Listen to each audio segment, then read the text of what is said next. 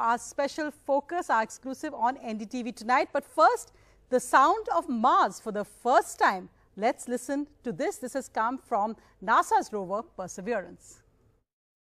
Applicate indicate chute deployed. Heat shield set. Their first look at the surface. 30 meters per second, altitude of about 300 meters. Accordion, which means we are conducting the sky crane. Touchdown confirmed. Perseverance safely on the surface of Mars, ready to begin seeking the sands of past life.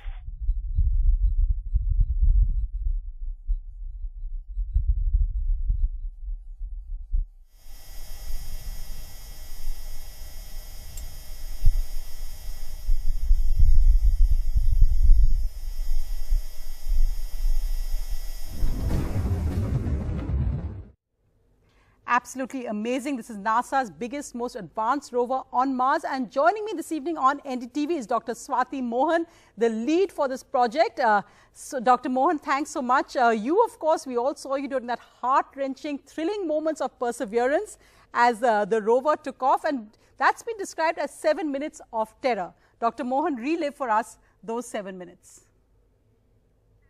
Thank you. So the seven minutes of terror refers to entry, descent, and landing because it takes roughly seven minutes from the top of the atmosphere to reach the ground successfully. And in those seven minutes, the spacecraft has to go through numerous uh, configuration changes and high dynamic events mm-hmm. and in order to be able to reach the ground safely. And every single one of those events has to happen completely in sequence, on time, and exactly as planned. If any one thing goes wrong, then it would start a cascade and the whole thing would end in a very, very bad day. What makes it even more terrifying to those of us in mission control is because it takes over 11 minutes for the signal to get from Mars to Earth. So by the time we hear that we've hit the top of the atmosphere, that information is already 11 minutes old. So Perseverance is either on the ground in a you know nice, neat uh, rover configuration or splattered, and there's nothing that we in mission control can do in those seven minutes to help it. So we tried to do our best to set it up mm-hmm. to succeed at the top of the atmosphere just before it gets there, and then everything else is Perseverance on her own to execute entry, descent, and landing. So an 11 minute, 11 minute delay there must have seemed like a lifetime. But also, uh, Dr. Mohan, you know, the fact that this actually happened at a time when the United States is uh, battling uh, the, its highest ever deaths of over 500,000 now in the midst of corona pandemic, it really was a triumph in so many different ways, a feel-good moment, not just for the United States, but also for the world that we are actually pushing the boundaries, the frontiers of uh, science. Uh, how, how difficult was it working through the pandemic to have this happen? It was, I think I might still be in the surreal feeling of it still needs to sink in that it's actually happened. Mm -hmm. We spent so much of our energy just focusing on just take the next step forward. What's the next step that you need to do? You know, keep your head down and and do what you need to do to get the next step. The the whole last year of trying to reinvent mm-hmm. how we do operations in the midst of a, a global pandemic when we can't be with each other and can't communicate right. through means and have to to do things remotely and rely on you know internet connections and people's home stations in order to do work has been difficult and in some sense isolating because we had grown used to working together as a as a team and being efficient.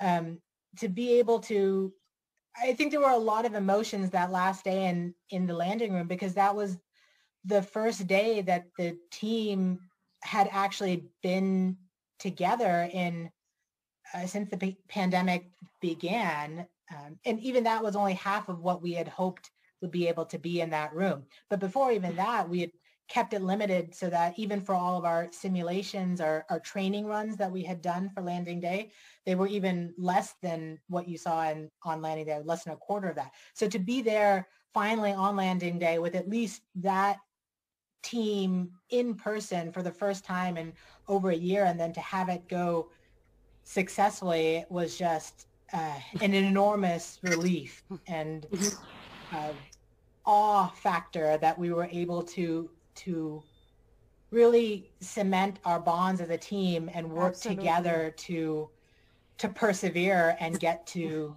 this point no, and have it succeed. for perseverance in a sense, Dr. Mohan. But tell us a bit about your personal journey, because of course, um, I mean, I think everyone in India was so proud to see you, an Indian American, uh, there in a sense the lead of this project. You actually uh, left India when you just one year one year old. Tell us about your personal journey to where you are today.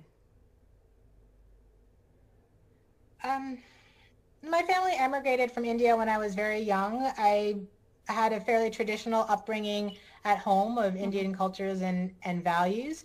Uh, in terms of work, I was really inspired into space as a child and, and watching Star Trek and seeing those beautiful images that they had rendered of, of space. And that's how I, I became curious about it. I would read as a child these nonfiction books on what nebula were and what the Big Bang theory was and planetary exploration.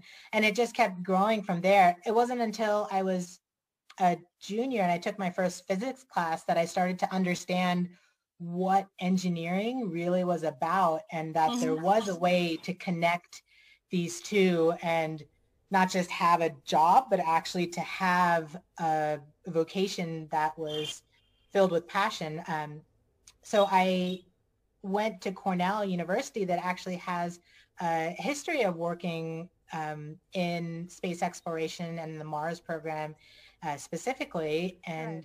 from there, I tried to intern as many NASA centers as I could. I think I interned at four or five different NASA centers until I found um, the niche of what I wanted to do in guidance, navigation, and control. I was super lucky to be able to go to MIT in the Aero mm-hmm. Department, the Space Systems Laboratory. A lot of the people that I met there in doing the research uh, actually are also with me at JPL. We have mm-hmm. a large contingent, not just at JPL, but on the Perseverance rover mission herself. So being able to work with them all the way since grad school has mm.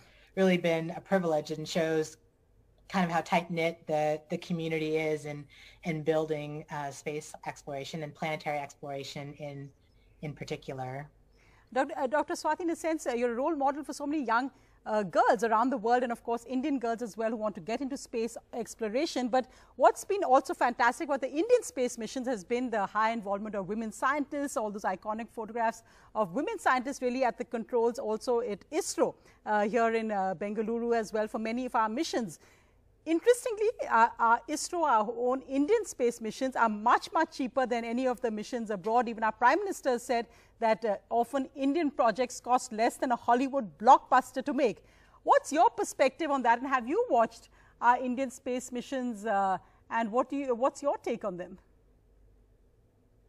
I watched a little bit um, and I have to say I've uh, admired the the Indian spirit and the tenacity in building these missions and pursuing them.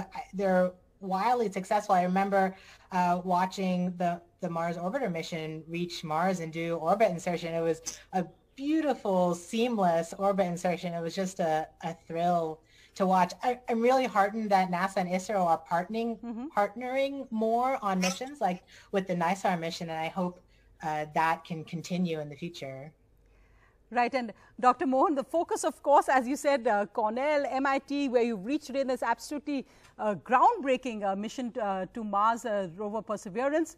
But did you expect all the reaction that your bindi would get in the middle of all this? Uh, as some comments said that you really rocked the bindi. No, not at all. I mean, I've worn a bindi since I was a child. I wear it most of the days at JPL. So for me and actually for all of my colleagues at JPL, it was business as usual and, and how we were dressed. It was a little bit out of out of our wildest dreams to see that that was what was picked up as part of the, the landing day show.